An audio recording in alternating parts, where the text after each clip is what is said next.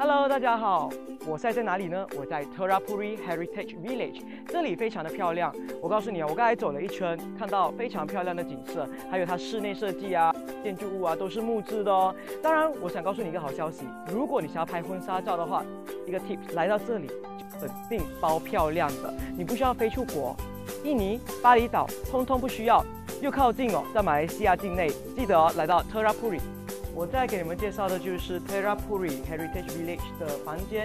你看到我身后就是这张大床，大床其实可以用来给那些婚纱照拍摄的道具哈。新郎跟新娘非常恩爱、非常甜蜜的画面。我告诉你一个 tip，就是你可以用这个薄纱，这个蚊帐，透过这个蚊帐制造出那种 bokeh。你知道什么 bokeh 吗？B O K E H。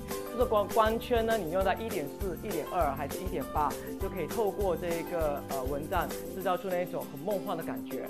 第一就是可以用这张床来做道具，第二呢，我们也可以再用这个屏风。人家说中国的家私有那个古典美，我们马来西亚的传统家私也是非常的漂亮的。你看有非常非常棒的这个花样。刚刚带你们看了就是这个 Terapuri 的睡房，现在我们来到的就是它的冲凉房。冲凉房也是非常漂亮的，有一片落地玻璃，然后有这个花洒，可以叫那个新郎新娘做什么事情呢？他们其实可以站在花洒下面开水，拍的这个试身照非常性感，若隐若现。我告诉你，非常 hot。所以呢，它的这个冲凉房也是一个婚纱照摄影师必要的一个地方哈。我刚才带你们去参观了，就是 Tarapuri 的睡房，还有冲凉房。现在我们来到了，就是看到这一个非常的特别的道具，就是它的浴盆。浴盆这东西呢，其实我很少看过，OK，我看过浴缸罢了。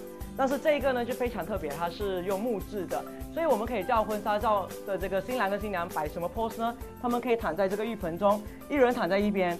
然后呢，摄影师其实可以拿一个梯子，从高角度这样子拍下来，它那个感觉是非常棒的。要不然呢，你可以把整个浴盆呢装满水，然后撒一些花瓣，可以点缀一下那个效果。花瓣的颜色其实可以根据那个婚纱的颜色来做对对比。比如说，如果婚纱的颜色是白色的话，你可以用红色的花瓣来做点缀的。刚刚我们从室内出来呢，就是到室外。室内看过了冲凉房，还有睡房。在室外呢，我们可以看到就是有非常漂亮的沙发。两公婆呢拍婚纱照，其实可以坐在这沙发上面，可以拍非常漂亮的婚纱照。两个人可以做些什么事情呢？老公可以抱老婆，就这样子，要不然亲吻。然后摄影师应该站哪一个角度拍呢？摄影师其实可以站在对面，要不然就站侧面，两个不一样的角度。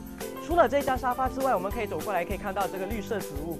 绿色植物其实比较靠近大自然嘛，哈，贴近大自然。所以两公婆其实可以把这个当做背景，摄影师可以站站在这个角度，可以拍过来，就是特别漂亮。除了这个靠近大自然之外，还有沙发，我们还有来到这个多一个道具，打开窗口，一人站一边，非常美。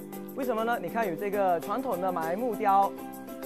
除了打开窗口，我们可以半开窗口，是 true。多么漂亮！不同的角度，其实摄影师其实可以多想一点点子，然后有不同的角度，可以拍出不一样的效果。谢谢大家。